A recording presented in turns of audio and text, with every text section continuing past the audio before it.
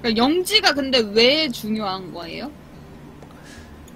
영지를 안 하면 강화 재료를 사야 돼요. 본인이.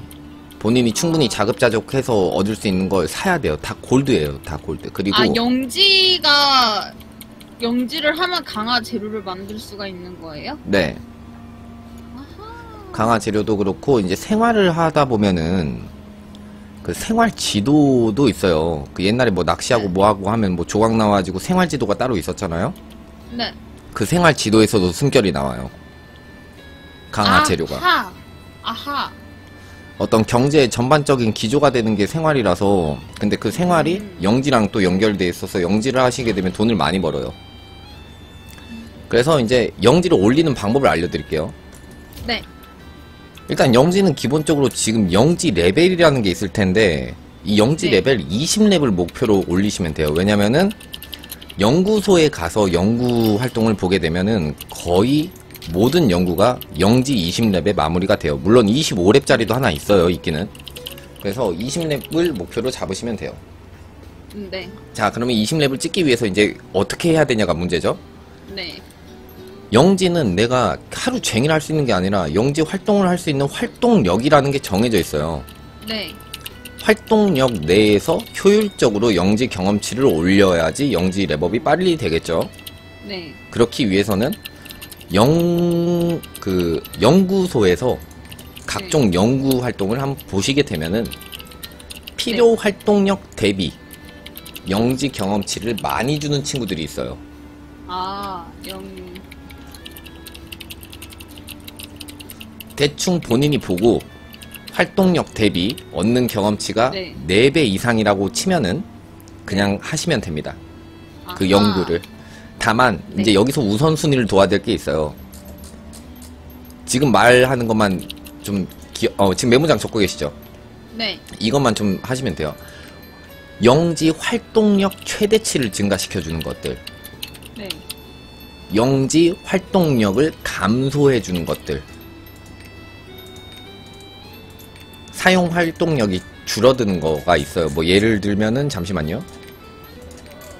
네? 여, 어, 이름 예를 들면은 연구원 복지 개선이라는 게 있는데 이거는 아, 잠시 선생님. 네. 영지 황, 활동량을 증가부터 네, 영지 활동량을 증가해 주는 영지 연구. 그 딱 영지 아, 연구소 연구를 하라고요, 이거를? 네, 그걸 하라고요. 아, 아, 네. 네.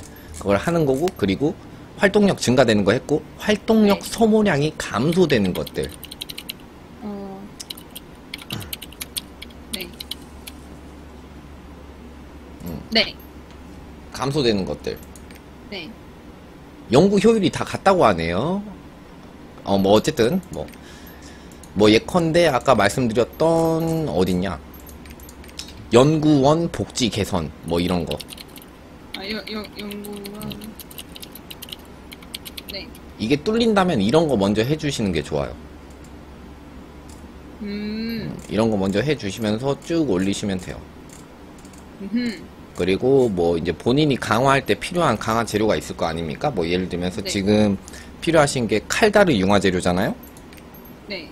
강화하실 때 들어가는 게 그것도 자급자족 하려면 그것도 필요하니까 그것도 먼저 배우시고 음. 또 먼저 배우시고 하고 음. 건물은 네. 뚫리면은 일단 올리면 되는데 배울 수 있다면은 네. 제작 공방 2레벨을 우선순위에 두고 올리세요. 네. 제작 공방 2레벨부터 아까 말했던 각종 돈 되는 재료들을 만들 수가 있기 때문에 네. 그걸 먼저 올리시면 됩니다. 음. 그리고 이제 그쯤 되면은 사실 이제 뭘 해야 될지는 눈에 보일 거예요. 그쯤 되면은. 음. 파견 의뢰는요? 파견 의뢰 같은 경우에는 이거는 조금 이제 좀 말이 다른데 그 연 안에, 아, 저거 계속 돌려야 돼요, 파견 의뢰? 아니요 아니요 아니요 아니요 아니요. 그러니까 돌리는데도 좀 목적에 따라 좀 달라요. 뭐 예를 들면은 생활 도구를 본인이 먼저 만들겠다. 다른 것보다. 그러면은 파견 연구소에서 획득하는 인장의 종류가 다른데 모험의 인장을 주는 거 위주로 돌리시면 돼요. 처음에는. 어떤, 뭐, 어떤 위주? 파견 임무에서는 모험의 인장을 주는 걸 먼저 돌려서 500포인트 정도는 맞추세요. 모험의 인장을 500 얻을 때까지는 모험의 인장을 주는 파견 임무부터 하세요. 네. 네, 거기까지 하고 뭐 특수 임무 같은 경우에는 예, 맞아. 이거 특수 퀘스트 하라고 네, 하는데 퀘스트만 지금 해요? 하시면 돼요. 한 번만? 네, 한 번만 보내시면 될 거예요, 아마. 한 번만 보내시면 될 거고 어떤 걸 보내야 돼요? 이제 뭐 본인 카넬가리야? 본인이 레이드 못 갔던 거, 하루라도 빠졌던 거. 안 빠졌는데? 그래서 저도 고민하다가 한 번 보냈거든요. 이거 왜냐면은 내가 두 번 다 보내면은 레이드를 하루에 두 번이잖아요. 레이드가 예, 예. 두 번을 깨버리면 못 보내니까 그냥 내일은 레이드를 한 번만 깨고 본인이 가는 레이드 한 번을 그냥 이걸로 특수 임무를 처리를 해버리세요. 그냥 아, 내일 한 번만 깨고 네 한 번만. 오케이를? 어차피 퀘스트는 깨야 되니까. 음, 오케이. 그리고 음. 어 영지에 보면 무역 상인이라고 있을 거예요. 입구 쪽에. 네. 라미가 왔대요. 네네. 이 무역 상인은 그 모험의 서를 깨다 보면은 무역 상인 계약서를 얻어서 그 특정 무역 상인을 입구가 어디지? 그냥 라미 영지 딱 어디 들어왔을 때 근데 라미 어디 있음?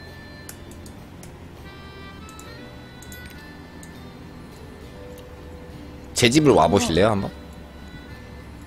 오른쪽에 있다고? 한번 찾아보세요.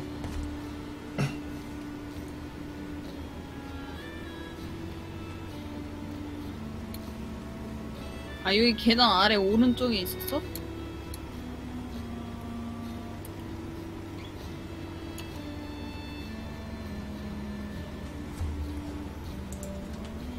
아, 얘가 라미야? 어, 네, 왔어요. 네, 그, 그 친구는 24시간마다 로테이션이 돌, 돌고요. 네. 이제 그 친구들 종류를 늘리는 게 무역상인 계약서라는 거예요. 그거는 이제 모험에서를 하다 보면 얻을 수가 있어요. 음. 모험에서 뭐 예를 들면은 어 로엔델 모험에서 한번 봐보실래요? 네. 은빛 물결 상단에 초대장이라고 있죠. 보상 중에 두 번째 줄 중간에 네. 그런 것들을 어, 나 하게 이거- 되면 네, 어, 어- 나 78%여서 곧 얻겠는데? 어, 네 그런 걸 얻게 되면은 이제 로헨델 관련된 무역 상인을 내 영지에 등장하게 할 수가 있어요. 저 퀘스트를 하면은. 그래서 이 무역 상인마다 파는 게 랜덤이거든요. 또 네, 네, 네. 그렇기 때문에 일단 무역 상인을 그런 식으로 다 확장을 시켜 놓는 게 좋고 네. 무역 상인한테는 지금 당장에 살 거는 안 보이는데 좀 우선순위를 둔다면은 지금 베르닐 조미료라고 있을 거예요. 이거. 어, 있어요, 지금. 이게 지금 버그 때문에 이거 원래 지금 저기 만찬이라고 만찬을 두 번 먹으면 원정대 경험치를 주거든요. 네. 근데 지금 그게 한 번밖에 안 돼요. 본인이 직접 해야 되는데 만찬을 하기 위한 코어 재료 중에 하나가 이 베르닐 조미료예요. 그런데 이게 모험의 인장이 필요할 거예요. 맞죠? 승리입니다. 아, 이게 NPC마다 다르나 보네요.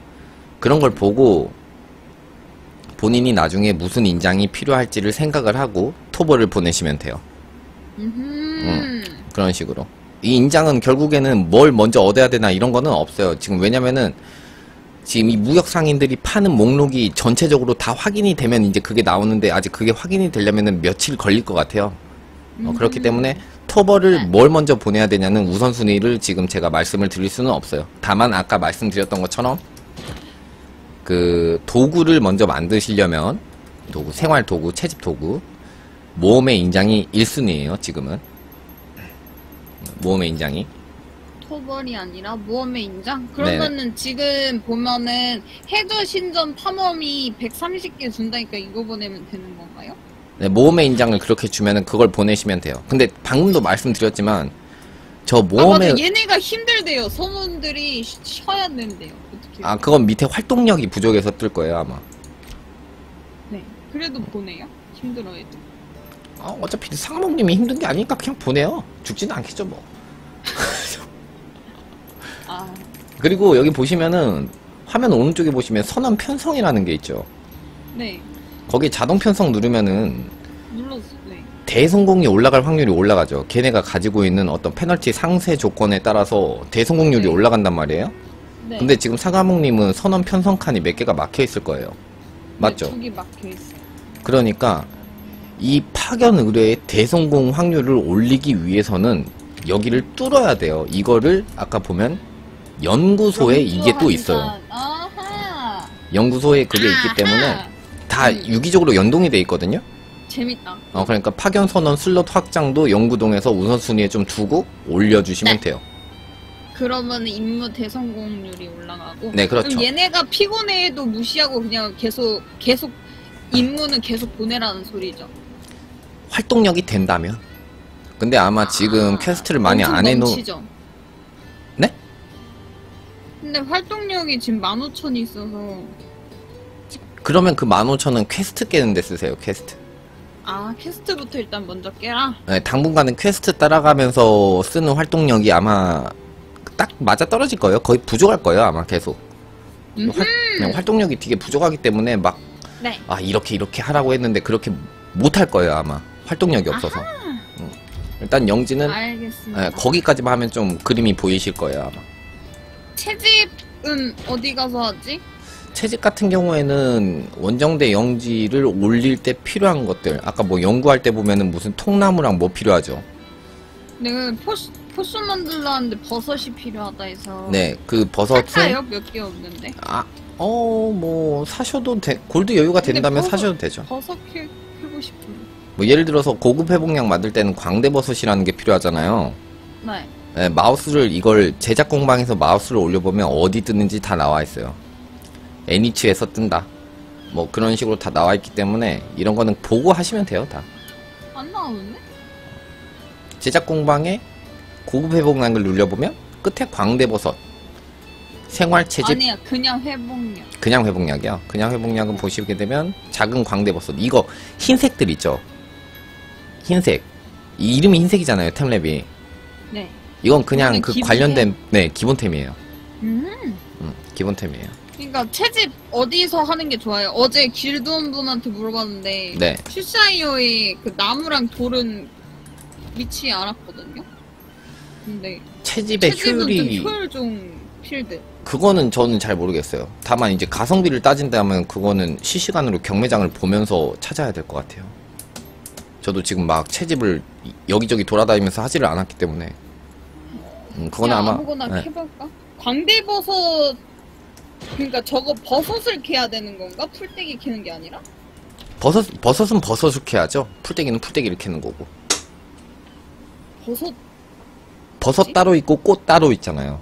그러니까 노을 꽃이나 회복약 보면은 작은 나래꽃, 노을꽃 이런 거는 걔네 진짜 나래꽃하고 노을꽃 찾아서 캐면 되고 광대버섯은 그냥 광대버섯 캐다 보면은 일반 잡재료로 나와요.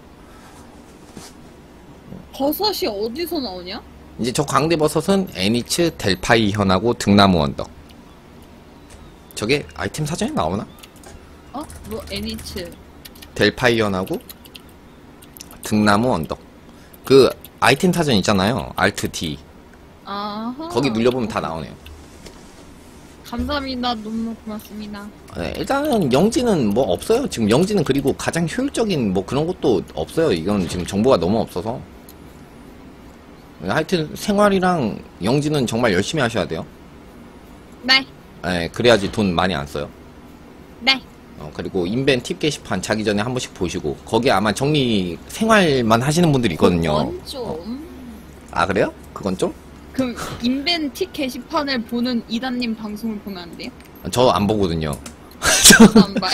자기도 안 보면서 어, 저안저 보거든요. 원래 몸으로 맞는 타입이라서 아, 예, 저도. 어. 원래 내가 지금까지 로아를 안 접었다면 나도 요 정도 정보력이 있지 않았을까? 아닌가?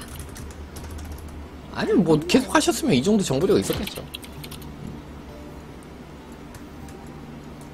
뭐, 하여튼, 뭐, 한 요 정도? 하시면 될 것 같아요. 이다님이랑 토론했었을 거야.